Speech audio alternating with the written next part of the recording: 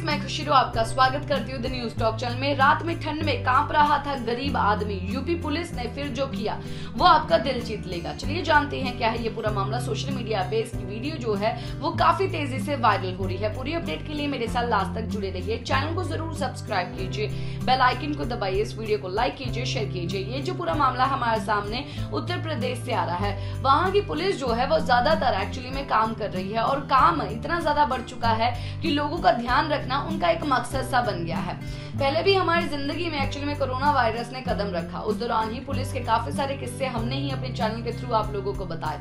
उस दौरान ही फिर दोबारा से ये एक्चुअली में कोरोना वायरस गया तो नहीं, पर बढ़ता हुआ जा रहा है, जिसके कारण पुलिस अभी भी तैनात रोडों पे लोगों को संभालने की कोशिश कर रही है। इस दौरान ही यूपी पुलिस के एक कांस्टेबल को एक आदमी ठंड में ठुकरता हुआ नज़र आया और उसने मानवता की एक मिसाल खड़ी कर दी। उसने अपनी खाकी जैकेट उतारी और उस लड़के को दे दी और वो लड़का जो है रोने लग गया और उनके पाओ भी पकड़ने लग गया। ये जो वीडियो है सोशल मीडिया पे काफ़ी तेज़ी से वायरल हो रही है। शिवानी नाम की एक यूज़र ने ट्विटर हैंडल पे इस वीडियो को शेयर किया और यूपी पुलिस की काफ़ी ज़्यादा तारीफ़ की। आई होप गाइज़ आप लोग को जानकारी काफ़ी ज़्यादा अच्छी लगी होगी। इसी के साथ मैं लेती हूँ इजाज़त। बबाई टेक केयर नमस्कार।